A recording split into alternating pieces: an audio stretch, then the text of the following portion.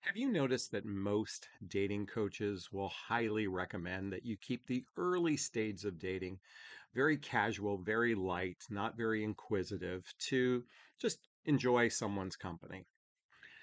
I think this works in favor for men, not so for women, and I'll explain for a second. I know a number of uh, women dating coaches will encourage a woman just to sit in her feminine energy and wait to be claimed by a man. And certainly, male dating coaches will encourage light, fun, casual early dates because they don't want to feel pressure. um, so, but I just used an interesting word pressure. I want you to think about this for a moment. Unlike in the past, when we met people organically, we might have met them in our school, we might have met them in the town we lived in, we might have even met them in our work environment. What I met, what I mean by met them, is that they're most likely somebody we already know. We already know this person. So certainly dating somebody you already know should be light, fun, and casual because there's a sense of familiarity, there's a sense of comfort, there's a sense of, of belonging to some degree. I want you to think about this throughout history. When we mated with people, there was a sense of belonging. We were part of each other's community. And yet today, that has certainly changed dramatically, especially because of our devices. Because these days, we tend to meet total strangers in the dating marketplace. And when you're meeting a total stranger, what did your parents tell you about strangers? Do you remember stranger danger? So I think it's important to do a bit of due diligence before you invest time in someone. Now, I want you to think about this for a moment. Let's follow the previous dating coach's um, suggestions. You just keep it light, you keep it fun. You go out with someone once or twice, they don't want to see you again. You do this again, you meet someone, you go out and have a good time. It's very casual, it's very fun, it's very light. They don't want to see you again. And this happens over and over and over again. Could you imagine the emotional effect that has on a person to habitually go on date after date after date after date? I mean, what I mean is different people, men and women alike, only to feel a sense of not belonging, a sense of, of frustration, a sense of, of disgust with the process. This is because when you're meeting someone cold for the first time, it puts a lot of pressure on instant chemistry for this to even have a chance to take off. But what's worse about this is men will oftentimes pursue women from a sexual perspective, not necessarily with an intent of a relationship, so again, this favors men if they don't have to jump through a certain bit of hoops. And that's what we're going to talk about today because we're going to talk about four questions you need to ask yourself to determine if this person is worth investing time. Does this make sense? Listen, I, I know this might even sound alarmist, and I certainly recognize that women are absolutely capable of making choices for themselves. And certainly when it comes to the physical aspect of a relationship, a woman is certainly open to choosing to have sex with someone she barely knows, just like men do this. And she's certainly open to never seeing the person again. I'm more concerned about the emotional effects of physical intimacy without the deep roots of trust built in the relationship or in any sense of, of desire for something greater than just a casual encounter. Folks who know me know that I, I I always say I'm your big brother. I wish I could be there on a first date with a shotgun pointed at the guy's face saying, What is your intentions? These days, the dating marketplace, I said, favors men to a certain degree because if they they they know the line. All they have to tell you is I want a relationship and ladies will believe that it means what you think it means to you. I want you to think about this. The word relationship that can mean a lot of different things depending on the person. If you follow my channel, you know I talk about what I think a relationship should look like or what I want it to look like for myself. It's a relationship where we spend three or four days and nights a week together, doing shared activities, hobbies, mutual interests, spending time with family and friends, traveling together, teamwork building skills, both in our personal and our professional life, intimacy, both physical and emotional intimacy that leads to either moving in together or getting married. That's a relationship. Now, not every one of you has the time for that kind of relationship. I will tell you that traditionally and statistically speaking, the more time two people spend together in in a short period of time, the greater chance for relationship success. And what I mean to say is seeing each other three or four days and night, three or four days weekly over a period of time will build the deep roots of trust with one another.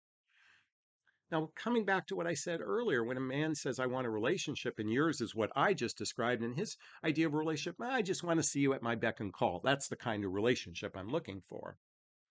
Men never say that because you guys don't discuss it. You don't discuss the parameters of what a relationship would should look like. What does it mean to explore a relationship? What does it mean? It's easy to say you want the words, but what does it mean and how does it look? To explore this relationship, because men were certainly drive to explore getting inside your pants,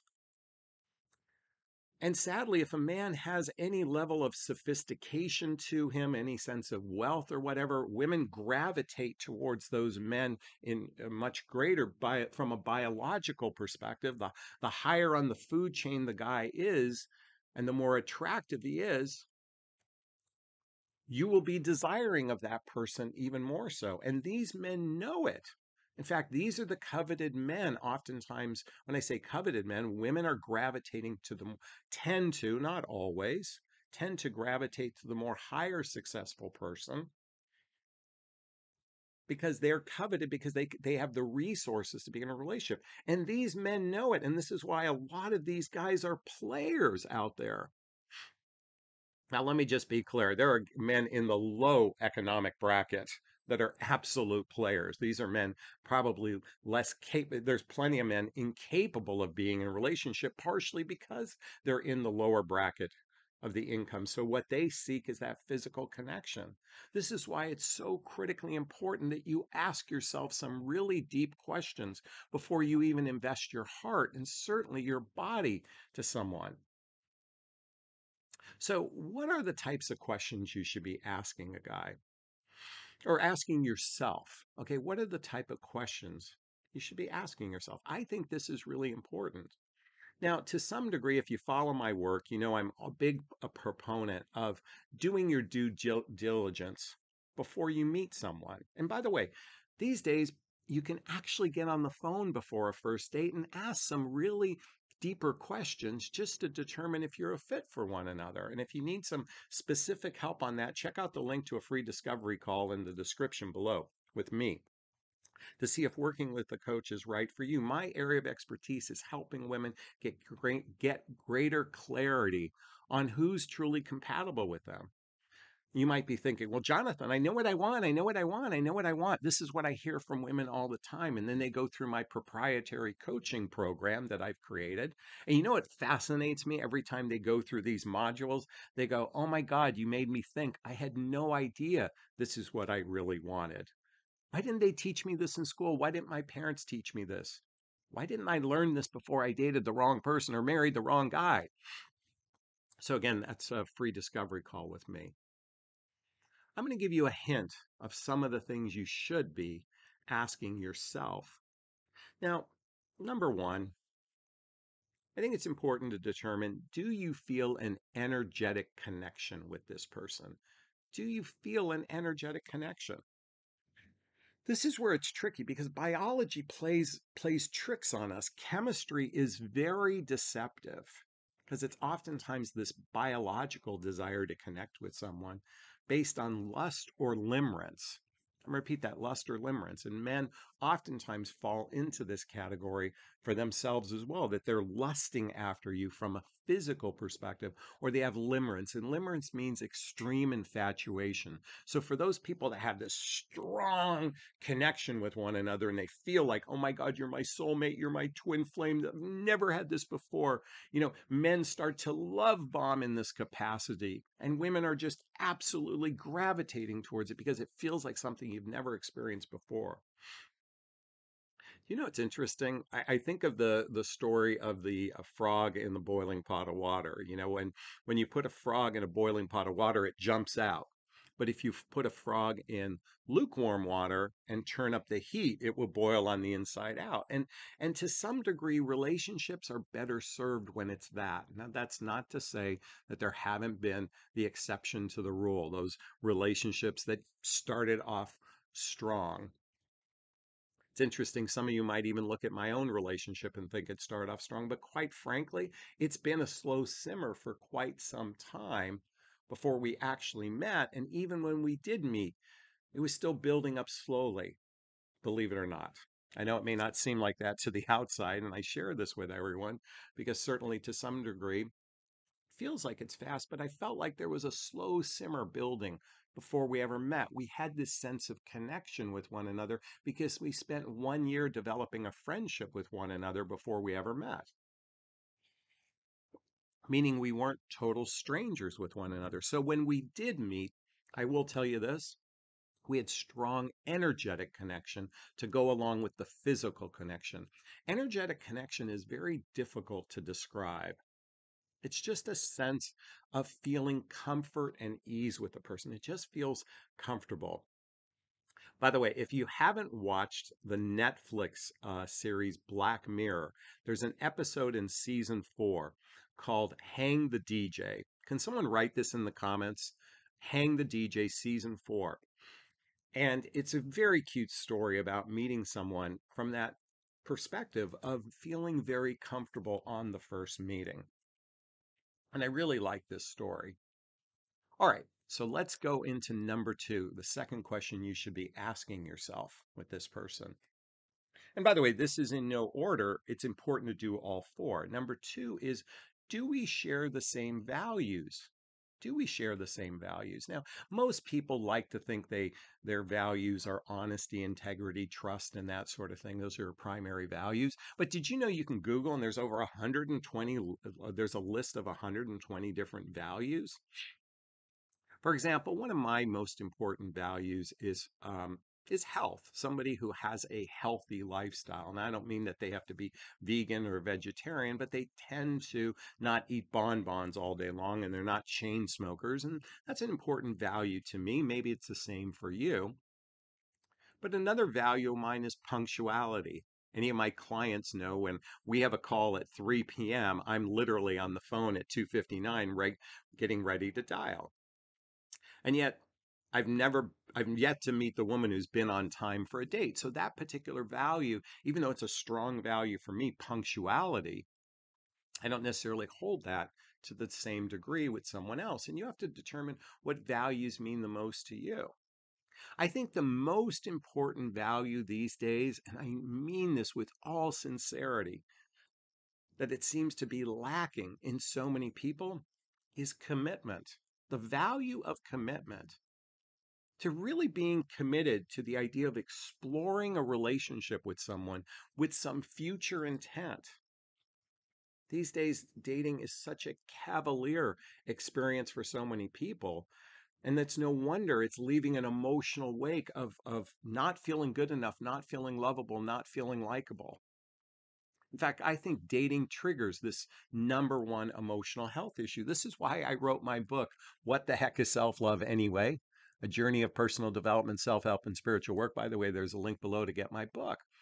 I think when we actually can step into our own sovereignty, our self worth, our self esteem, our self confidence, we don't feel as demoralized in the process of getting to know someone because we just recognize that dating is a, a is is basically it's a prospecting tool. It really is a prospecting tool. It's a vetting process to decide if you want to explore a relationship. So, coming back to commitment, the value of commitment, I think it's really important to assess is this person capable of commitment?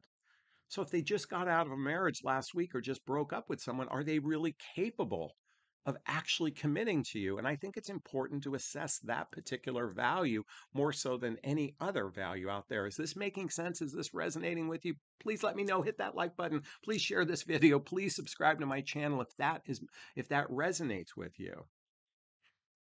The third question you should be asking yourself is do each one of your lifestyles is it actually blendable with one another? You know, folks, many of you know I'm in a long distance relationship. Actually, that's going to change very soon. We're in a long distance relationship. But we we determine that we actually have the compatibility to blend our lives together. And so you have to ask yourself, can this per oftentimes women abandon their own lifestyle to morph or meld into some guy's lifestyle. You have this fantasy that if you meet someone, especially if there's distance, and by the way, these days, distance can easily be, you know, I live in Los Angeles. I live, uh, you know, in an area called Redondo Beach, and someone could live in the area of Santa Monica, and believe it or not, that's a pain in the ass. It takes 45 minutes to get to see one another. But they might have a truly deeply rooted life there. And if you have a deeply rooted life where you're at, that's going to be difficult. That's going to put a lot of pressure. It's going to require a lot of love for that relationship to actually meld together, blend together, excuse me. It's important to really you know ask yourself these deeper questions. By the way this is why folks if you haven't read the book by barbara deangelis are you the one for me? Knowing who's right and avoiding who's wrong. This is a thick ass book. I highly recommend reading this book highly this will give you so much insight into what to be looking for. Especially in this area of blending lifestyles. Because the reality is is if you can't blend your lifestyles and you're investing time what do guys do? You know it's easy to begin the early stage of dating but what do guys always do? You know this isn't working for me especially the long distance. I i hear this from women all the time. You know it wasn't the distance that changed it. He wasn't ready for a relationship. I'm like yeah because you couldn't build the deep roots of trust with one another to explore this deeper relationship blending lives together and lastly emotional maturity, relationship skills. The reality is, is the vast majority of humans have weak emotional maturity and weak relationship skills. This is true of men and women alike. And but let me tell you something, at the end of the day, if a person can't doesn't have the communication skills or the desire for emotional intimacy to really build deep trust with one another, it's going to be problematic. When I talk about deep trust, I'm talking about does this person care about my feelings as much as my own? And are they open to exploring the depths of their feelings? You know, it's interesting there's a show on uh, Showtime called Couples Therapy, and these are actual couples therapy sessions. I mean, they're kind of hidden cameras, and it's interesting to hear how the men open up and how some men don't open up, and how some women don't open up on an emotional level. Listen, you can approach relationship from the pragmatic perspective of he's the provider protector you're the homekeeper that certainly was the previous norm okay and to some people that's what they desire that gets rather boring, that dynamic. And quite frankly, these days, women are capable of financially taking care of themselves. They don't need the man to be the provider. So, what's going to really strengthen a relationship, really strengthen a relationship, is that deeper sense of emotional intimacy. And it requires going far deeper than the surface. This is why I continually recommend reading this book, Eight Dates by Doctors John and Julie Gottman, because the questions in here will help you determine, along with the book, Are You the One for Me? Is this person emotionally mature enough to actually enter into a deeply, fully committed relationship? Because let's face it, it's exhausting going out on a first, second, or third date and it going nowhere and doing it again and again and again. And I know there are dating coaches out there recommending to women dating three or four, uh, dating circular dating, dating four or five guys at the same time. How exhausting can that be? And some of you are not even, you don't get that many asks out there. Folks, we are in a different world and it's time to recognize that. Yes, the, uh, the swipe dating apps has bastardized much of this, but it's also incumbent upon you to take power in your life to take charge of your relationship destiny because you can't leave it up to a guy because most guys are clueless they're winging it you've got to be in charge of your destiny and these are four questions four questions you should ask yourself to determine if he's a really good fit for you All right, I think that's a, I think I've covered a lot. I'd like to hear your thoughts. Please comment below. By the way, my T-shirt is from the Mach 5 from Speed Racer, the TV show I used to watch as a kid. Loved it. Uh, so again, please post a comment below. All right. Uh, if you like this video, please share it with your friends. Please hit that like button. Please subscribe to my channel. I'm going to wrap up this video as I always do. First off, giving myself a big, gigantic Jonathan Barrick of self-love. I'm going to reach into the camera and give you a hug of love if that's okay. I'm going to ask you to turn to someone, a pet, a teddy bear, a pillow, and give it or them a hug of love because hugs are a great source of love. And let's face it, we could all use more love in our lives. Thanks a bunch. Bye-bye now. Bye-bye. Oh, I forgot the teddy bear. Bye-bye now.